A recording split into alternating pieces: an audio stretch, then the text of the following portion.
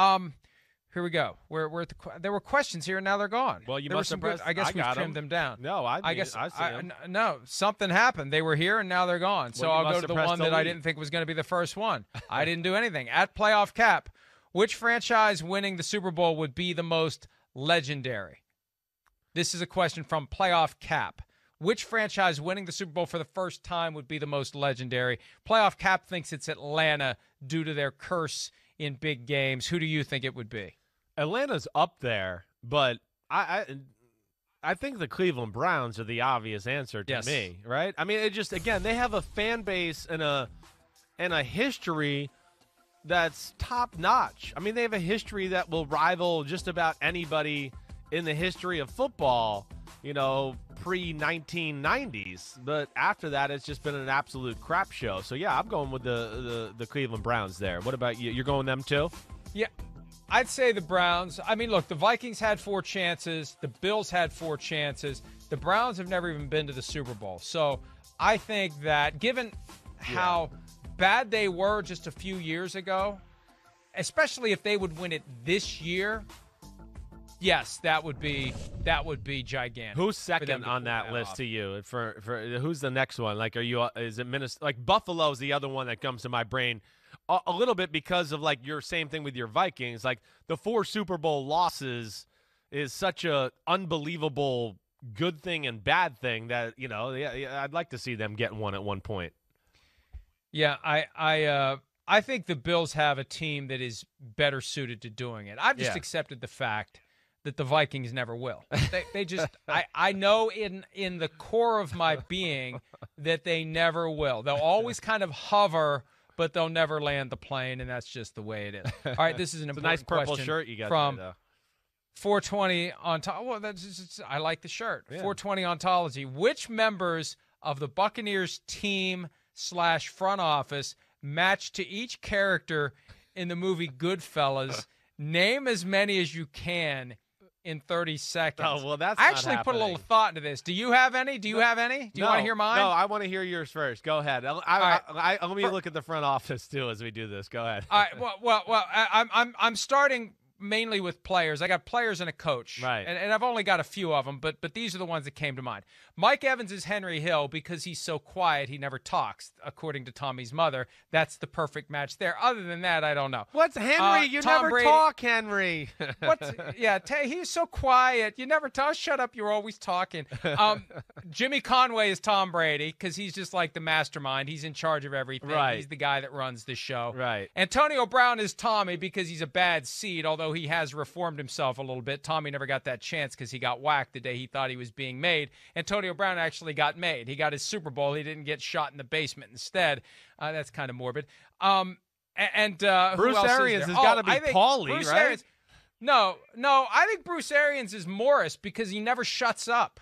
Man, Morris gets fair? choked out and killed. That's not cool.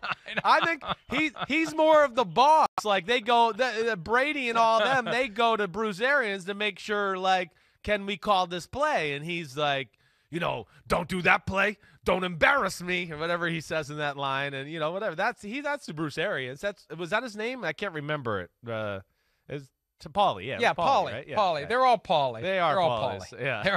They're- How dare you say that? uh, it's a great. That's funny all that they went with that. Uh, I like that little question there. That was a good Do, one. do you do you have any any other characters you want to jam in? Who would you be? The former because you, you used to be in the crew. You used to be in the Buccaneers crew. I know. I don't think I'm. you be? I don't think I make it there. Uh, uh, maybe I'm. Uh, I'm the guy that shows up with the pink Cadillac and the uh, and the mink. Uh, what's his name? The mink coat and the Cadillac. or no? You're definitely not Jimmy two times because you, because you can't lose your spleen two times. no, So no. And I, I can't speak right the first time to say it the second time, so I'm not him either. uh, I don't think I made it to that right. movie.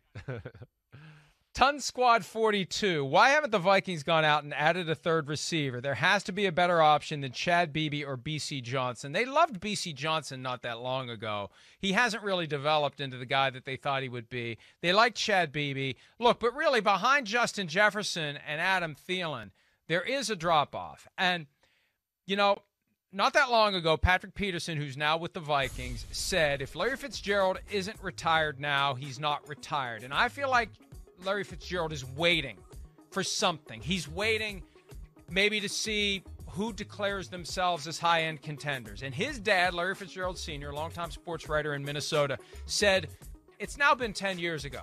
Larry Fitzgerald, who was, by the way, a ball boy for the 1998 team with Randy Moss, Cris Carter, et cetera, that went 15 and 1. Larry Fitzgerald Sr. said that his son is a Viking and always will be a Viking. And uh, again, it, it's going to require, I think, the Vikings to come out of the gates hot. I don't think he's going to want to limit his options. I think he's a free agent. He doesn't have to jump through any hoops. He can wait until the week of the Super Bowl and sign with someone if he wants to. Yeah. But I think he's determined to get a ring, and I think he's going to wait, and he's going to wait. He's not going to say a word, and we're not going to hear anything from him. There's no deadline that applies. He can sign with anyone at any time, all the way through the postseason. But I think the Vikings may be kind of unofficially holding a spot in the event that Fitzgerald decides by, I don't know, middle of October, yeah, you know what? This team's good enough this year. Maybe they do have a shot. I'll come home for one more year yeah, right. and see if I can be the difference maker. I, I, I mean, I don't think that's a crazy possibility. I, I mean, I am interested to to know what happens with Larry Fitzgerald. You know, I, I really am. I mean, uh, it's it's kind of funny. We've heard nothing. You know, here. I mean, not a rumor, nothing at all. Um, I thought the Buccaneers at one point, but but they, But they have absolutely now, no right. need. They would have to have an injury. Yeah, that's right. Or if like Antonio. Brown didn't come back, maybe that's where he would have filled that void or something like that. I mean, that makes sense. But like, hey, wait, I want I want to get to that question from our Toon Squad 42 what, about the third receiver.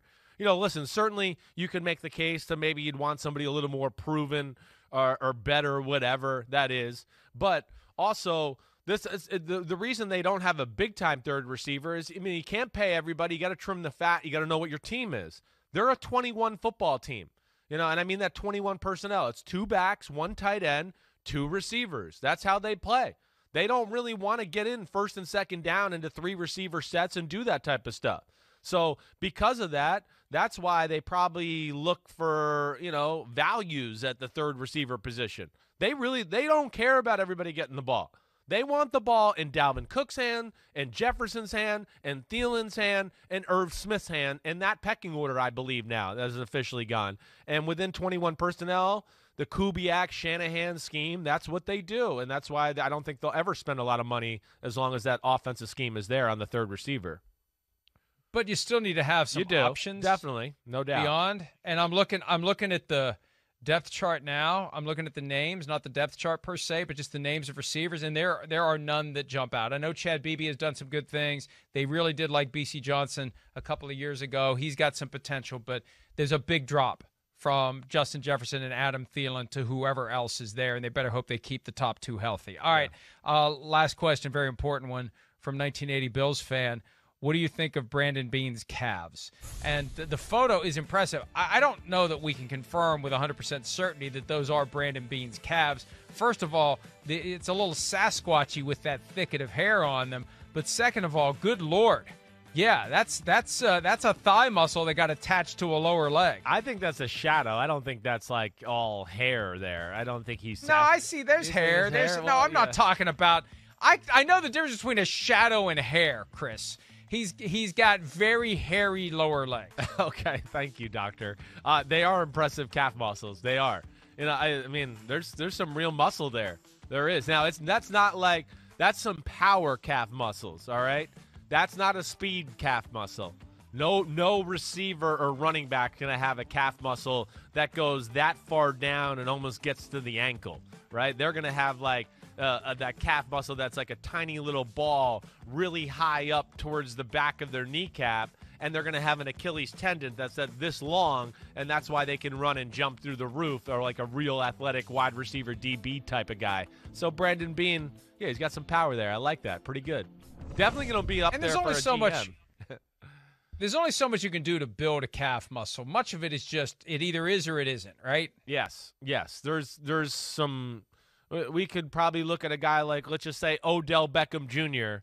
and you'd probably be underwhelmed about the size of his calf muscle a little bit. He could do 90 million calf raises a day. It's not going to get much bigger. It's just going to get stronger and tighter, and maybe that way. But yeah, yeah, there's only so much you can do.